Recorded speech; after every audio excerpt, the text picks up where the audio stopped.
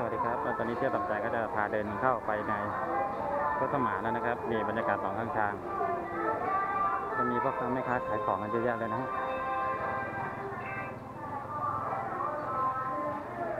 ฝั่งนี้จะขายผลไม้ ผลไม้มะนาว ฝั่งนี้ก็จะขายทั่วไปนะครับ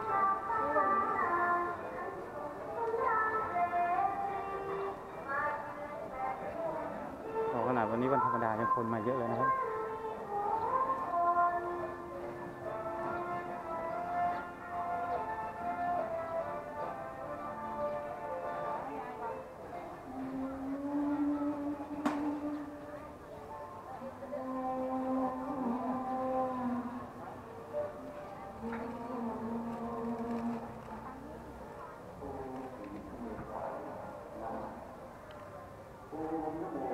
ตรงนี้จะเป็นช้างสามเสียนนะฮะเราจะมาไปรอดสะเดาะเคราะห์นะครับออกบริเวณนั้นก็จะเป็นแก้ปีชงไหว้พระราหูคุ้มดวงคุ้มภัยนะครับ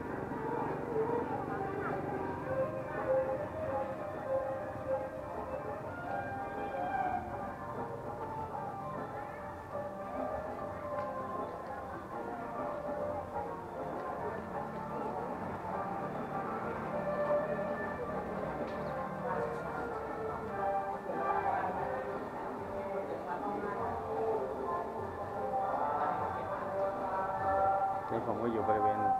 ใต้ท้องช้างเดี๋ยวพามาชมดูนี่หน่อยนะครับ เป็นรอบท้องช้างช้างสามเสียง บริเวณนี้จะเป็นศาลคุณสมานจีนประชารู้สึกว่าจะเป็นน่าจะเป็นคนบริจาคที่ดินน่าจะเป็นบริจาคที่ดินที่สร้างวัดอย่างนี้นะนะครับ บ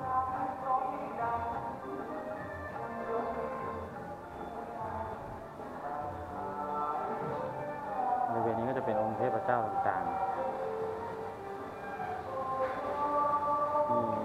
ประจำวันเกิดด้วยนะครับนี่ก็เป็นพระราหูองค์ใหญ่ที่สุดในประเทศไทยนะครับ ที่วัดสมานรัตนารามนะครับบริเวณนี้ก็จะ เป็นศาลพระบรมครูพ่อแก่นะครับนี่บรรยากาศรวมๆนะครับ เมื่อเข้าจากลานจอดรถมาทางขวามือ เข้ามาก็จะเจอพระราหูกับช้างสามเสียตัวนี้ก่อนเลยนะครับ